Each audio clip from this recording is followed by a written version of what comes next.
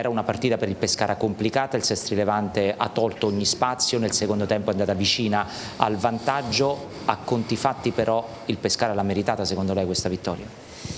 Come dico sempre, quando una squadra vince una partita, alla fine qualcuno ha sbagliato qualcosa e dall'altra parte hanno fatto qualcosa di meglio, quindi Pescara ha fatto gol, noi no, il Pescara ha meritato di vincere la partita. E penso che la mia squadra abbia fatto una grossa gara e se devo dire quello che penso io oggi non meritavamo di perdere. E abbiamo avuto due occasioni importanti, non, non le abbiamo sfruttate prima di prendere, di prendere gol il calcio, il calcio, è questo, non perdona. Ecco, proprio se ci vuole raccontare un po' quell'azione che è stata, se non erro, da quinto a quinto, il cross del quinto di sinistra per il pallone arrivato sul quinto di destra che limite dell'area piccola, posizione centrale, occhi negli occhi con Plizzari, ha fatto un regalo al pescatore. Sì, sì, è già successo anche nel primo tempo da quinto a quinto. Era eh, un po' più complicato. Sì, sì, perché poi ha calciato al volo, secondo me poteva controllare e fare qualcosa meglio. Questa è una palla dentro l'area piccola di piatto, una palla un pochino più semplice, però ripeto, si sbagliano gol anche peggiori di questo, quindi io non sono uno mai che punta il dito contro un giocatore, avremmo vinto, cioè, non lo so, magari poi perdevi 4-1, quindi quello non si può dire.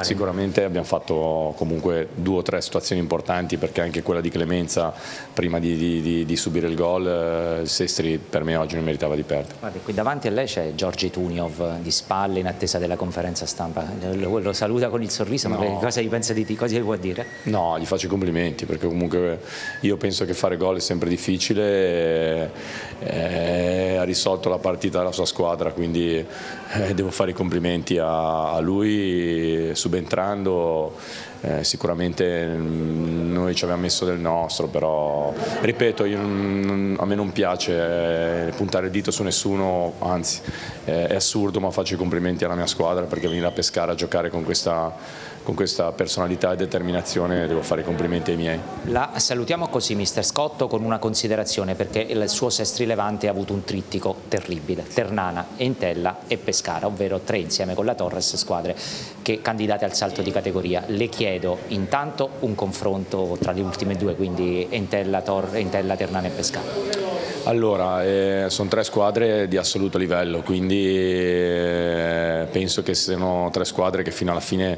come diceva lei, insieme alla, alla Torres eh, si, giocheranno, si giocheranno le carte fino in fondo. Eh, Pescara in questo momento qua sta dimostrando che in cima alla classifica con, con vantaggio sugli altri, quindi penso che stia meritando quello che, quello che ha fatto. Io ho visto il Pescara tan, tante volte, prima ovviamente di venire a giocare qua. Visto anche a Pesaro si è un po' spaventato. Sì, sì, assolutamente, assolutamente sì, ma non c'era bisogno di vedere Pesaro perché comunque vedo la determinazione con cui giocano, vedo, vedo la convinzione che hanno a livello di squadra, quindi io penso che i giocatori mister stanno facendo una, un grandissimo lavoro in questo momento, sicuramente la squadra migliore.